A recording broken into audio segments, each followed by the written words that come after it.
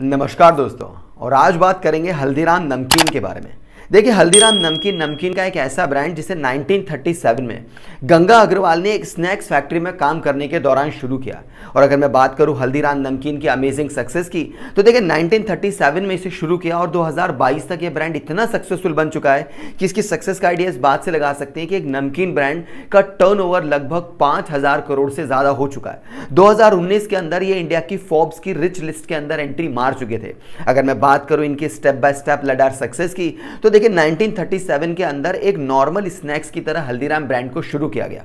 लेकिन क्वालिटी अच्छी थी, प्राइस रीजनेबल थी, ज़्यादा कॉम्पिटिटर भी नहीं थे। इसलिए इनके ब्रांड को धीरे धीरे सक्सेस मिलना शुरू हुआ और गंगा अग्रवाल का ये ब्रांड बीकानेर के अंदर पहली बार उन्नीस सौ छियालीस के अंदर फ़िज़िकल शॉप के रूप में सामने आया। क्योंकि ब्रांड के अंदर क्वालिटी प्राइस और कॉम्पिटिटर का इन्हें बहुत बड़ा एडवांटेज मिल रहा था। इसलिए 1946 से लेकर के 1950 के आते आते इन्होंने पहली शॉप कोलकाता के अंदर खोल ली थी। बात अभी भी सेम थी। कॉम्पिटिटर ज़्यादा थे नहीं क्वालिटी और प्राइस काफ़ी रीजनेबल थी। इसलिए 1980 के आते आते इन्होंने नागपुर और दिल्ली जैसे बड़े मार्केट के अंदर भी अपनी फ़िज़िकल शॉप्स को खोल के अपने सक्सेस के झंडे गाड़ना शुरू कर दिया था। लेकिन 1980 के टाइम पीरियड में गंगा अग्रवाल को समझ में आ गया कि फ्यूचर में जिस तरह से बिज़नेस धीरे धीरे आगे बढ़ रहा है। उस टाइम पीरियड में फ्यूचर में इनके बिज़नेस के अंदर ब्रांड को लेकर के डिस्प्यूट क्रिएट हो सकता है। उस डिस्प्यूट से बचने के लिए गंगा अग्रवाल ने अपने पूरे बिज़नेस को डिविजनल स्ट्रक्चर में बांट दिया। ये सोचते हुए कि फ्यूचर में कहीं ना कहीं इनके बिज़नेस ब्रांड में डिस्प्यूट ना हो।